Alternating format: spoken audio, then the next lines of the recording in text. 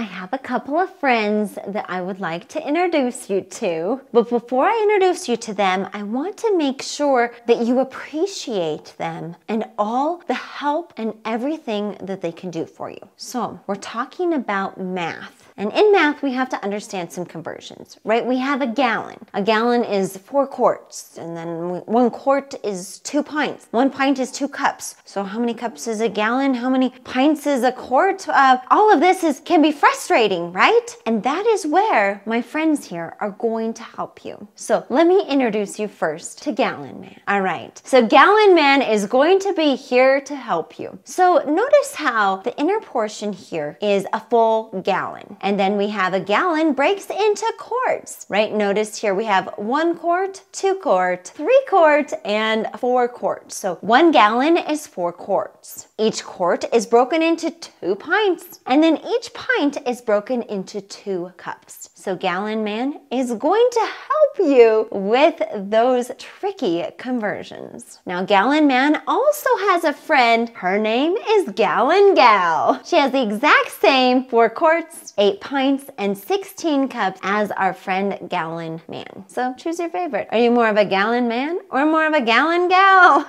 Okay, so let's use our gallon man and gallon gal in a couple of math examples. Okay, so here we have a punch recipe calls for five pints of juice. How many cups is that? So what we're gonna do is we're gonna take a look at pint to cups. So one pint is two cups. So then we say five pints, because we're doing five pints, times two cups is 10, 10 cups. So the five pints of juice that we need is really just going to be 10 cups. Thank you, gal Gallon Man for helping us in this problem. Let's do another one with Gallon Gal. Okay, if a lemonade stand sells 32 cups of lemonade in one day, how many gallons did they sell? Okay, we're going all the way from cups to gallons. So I know I can count. Gallon Gal has 16 cups. So 16 cups is one gallon. So I can, when I'm going from small to big, I divide. Last time we multiplied because we went from big to small. So I'm gonna take 32 two cups, divide that by 16 cups, and I know that there were two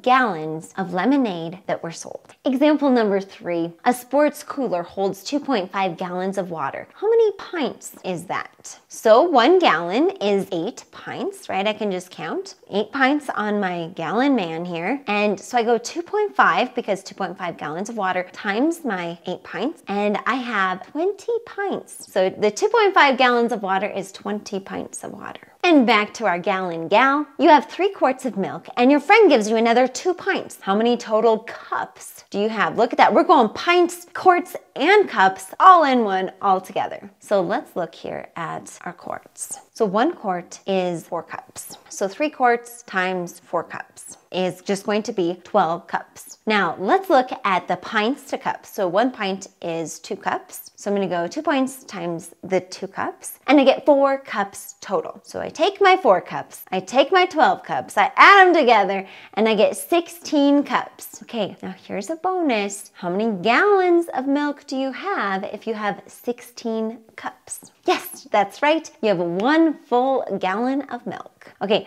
I want you to pause the video and try this one here on your own. So a bakery uses six quarts of milk for baking. How many pints of milk is that?